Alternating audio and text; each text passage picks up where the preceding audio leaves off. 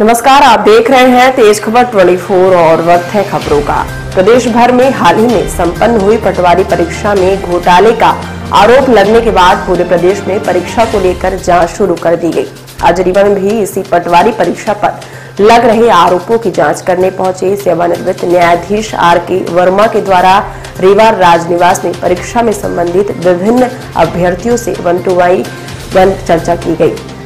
इस दौरान अभ्यर्थियों ने जाँच टीम के सामने अपनी बातें रखी, लेकिन सभी अभ्यर्थियों की मांग थी कि इसका निराकरण जल्द से जल्द पुनः पटवारी परीक्षा के परिणाम का निराकरण किया जाए, जिससे उनकी समस्याओं का समाधान हो सके।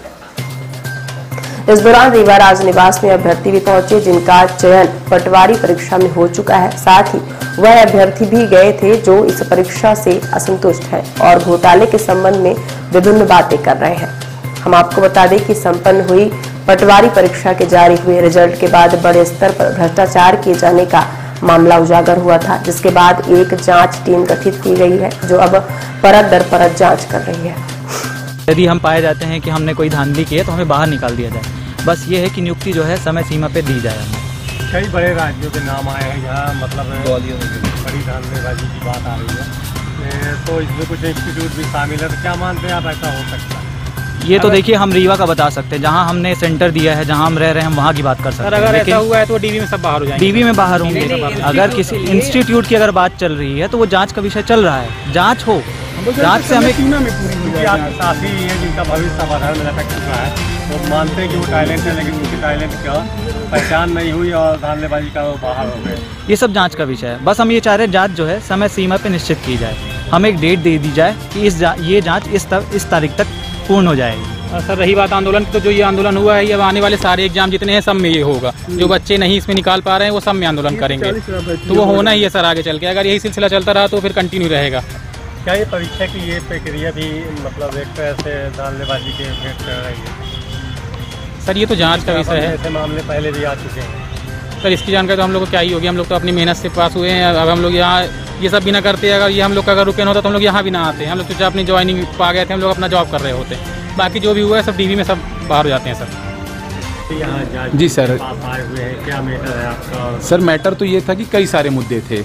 है ना? जैसे कि एक ही कॉलेज से कई लोग सिलेक्ट होना फर्जी विकलांग सर्टिफिकेट पा के नौकरी कोशिश करना सत्रह साल की उम्र में एक बच्चा अपने आप को संविदा कर्मी कहता है और संविदा कोटे की सीट ले जाना चाहता है जिसमें एक सवाल ये पैदा होता है कि सत्रह साल की उम्र में उसने ग्रेजुएशन कब पूरा किया पाँच साल की नौकरी कब पूरी कर लिया क्या तेरह साल में वो मध्य प्रदेश शासन कर्मचारी बन गया सत्रह साल में मताधिकार नहीं मिलता और सत्रह साल में ये सर अपने ग्वालियर साइड के ही मामले हैं पूरे ये। आज पटवारी हमने दिया था। नहीं इसी पटवारी से जुड़ा मामला है सर ये। पटवारी से ही जुड़ा मामला है ग्वालियर साइड के बच्चे हैं जो ऐसे केस में पाए गए हैं। लिप ग्वालियर में ही चार तारीख को सर चार अप्रैल को फिंगर क्लोनिंग की रिपोर्ट आती है। रिपोर्ट भी दर्ज होती है, पर उसके बाद वो बच्चे कहाँ गए, उसमें क्या जाँच हुई, इसकी रिपोर्ट आज तक नहीं आ पाई।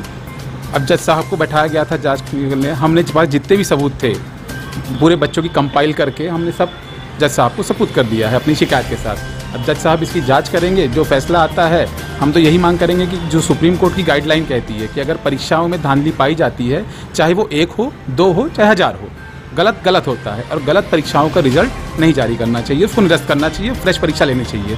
और इसमें ये सर आज ही टीम आई है सुबह दस बजे। आज ही आज चली भी जाएगी दो बजे। एक सिंगल जज कमेटी की सर बेंच है। आश्वासन मिला आपको कि हाँ सर आश्वासन मिला। नाम तो सर मुझे नहीं पता अभी। आप उनसे मिल लेंगे थोड़ी देर बाद रिपोर्ट हो जाएगी। तो मैं कह रहा था कि सर अगर गलत पाया जाता है तो जाँच और निरस्त होनी चाहिए परीक्षा। और मध्य प्रदेश सरकार में निरस्त हुई है। एग्रीकल्चर में यही चीज़ मामला सामने हुआ था कुछ साल पहले 2021 में। वो भर्ती निरस्त हुई फ्रेश वैकेंसी जारी हुई। वही चीज़ हम पटवारी में मांग कर रहे हैं बाकी और हमें कुछ नहीं चाहिए। हरिचरण तिवारी जिला रीवा मध्य प्रदेश। आज यहाँ पटवारी चयन को लेकर हम लोग इसमें क्या मामला क्या है आप लोग का क्या है? हम लोग पटवारी भर्ती परीक्षा के चयनित उम्मीदवार हैं हम लोग छियासी सौ के लगभग।